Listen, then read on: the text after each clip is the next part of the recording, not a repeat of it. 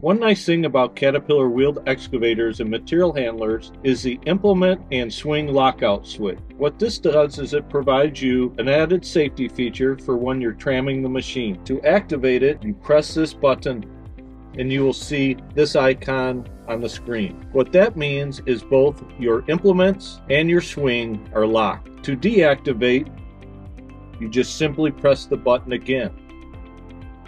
If you want to activate just your swing lock, you press and hold the button for two seconds and release. That will give you this icon. That means you cannot swing your upper, but you can still activate your implement controls.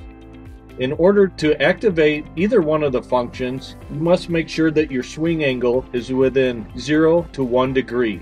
If you're outside of 0 to 1 degree and you go to lock your implements in your swing, the icon turns yellow, indicating that you must square up the machine before activating.